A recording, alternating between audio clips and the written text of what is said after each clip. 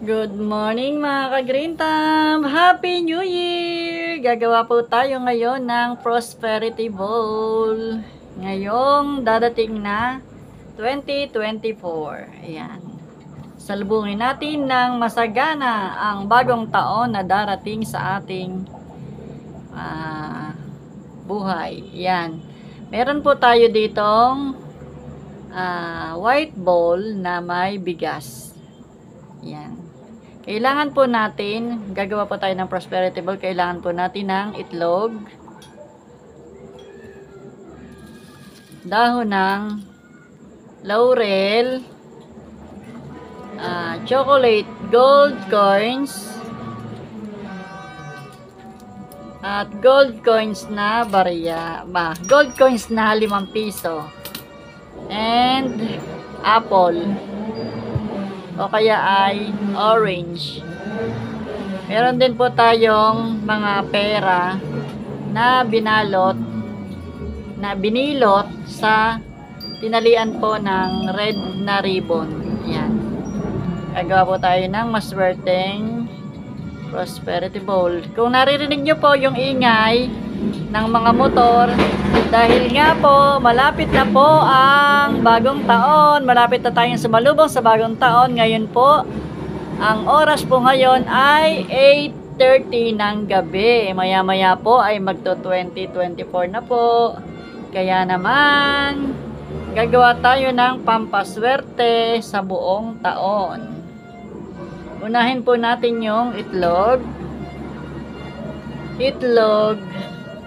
Labing dalawang itlog. Labing dalawang itlog ang ating ipapalibot sa ating bigas. Ayan, yan po ay labing dalawa. Ang itlog po natin ay color brown.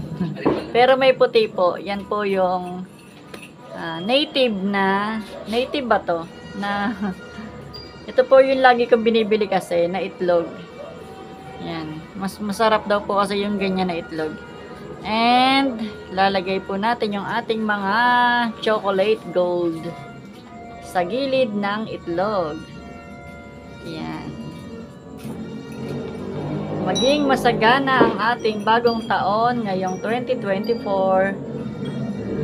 Gagawa tayo ng pampaswerte sa ating tahanan. And then, lagay natin ang mga gold na 5 piso. Dito lang po yan sa harap ng itlog.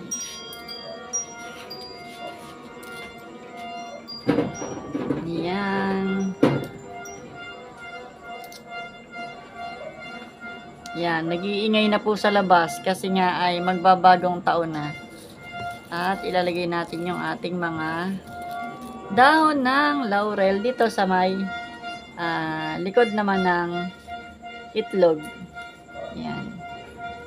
Sa likod ng itlog ay may dahon ng laurel. Labing dalawa din po yan. Yung ating mga ah, dahon ng laurel. Labing dalawa din.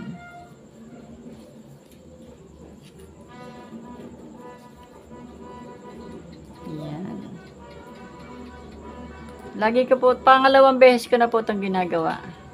Ah, aprobado naman po. Talaga pong sinuswerte ang ating buong taon sa ating ginagawang mga pampaswerte sa buhay. Yan.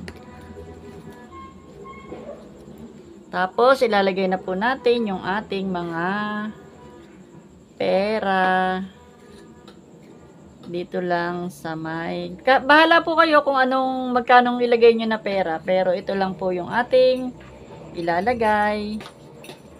Bahala. Nasa sa inyo po kung magkano ang inyong bibilutin na mga pera.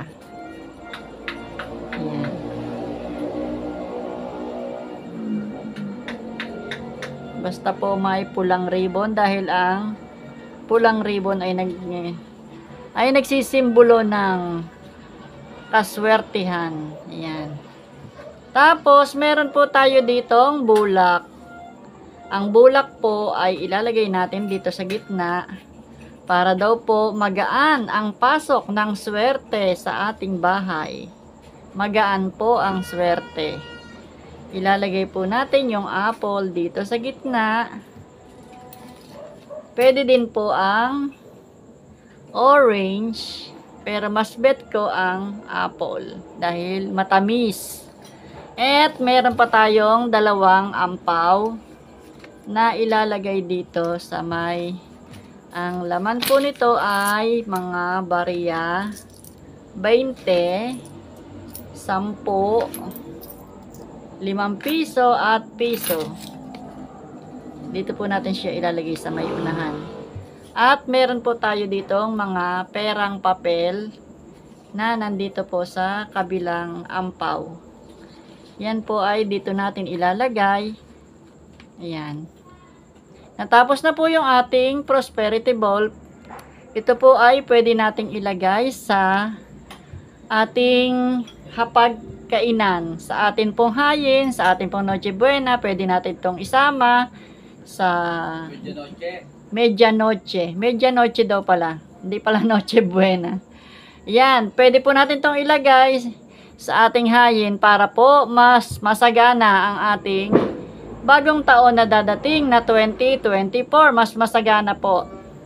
At una po sa lahat, magpasalamat po tayo sa Panginoon sa ating Lord Jesus na tayo ay binigyan ng malakas na pangangatawan sa buong taon. Sana po ay susunod na, na 2024, mas lalo po tayong swertihin at biyayaan ng mas madami. Ayan. Tapos na po yung ating prosperity ball. Happy New Year! Ayan, bless you, bless, ah, more blessing sa ating lahat. More blessing at ah, lagi po tayong mag-iingat kung saan man po tayo magpunta. Ayan, sas, samahan po natin lagi ng dasal. Yun po ang pinaka pinaka mainam na sanggalang sa pagsubok sa buhay, yung ating pong pagdarasal sa ating poong may kapal. Ayan, yun lamang po and Happy New Year! Malapit na po mag New Year, malapit salubungin po natin ang masanang maligaya at masagana ang darating na 2024. Happy New Year to all! More blessing and God bless. Bye. See you on my next vlog. Bye.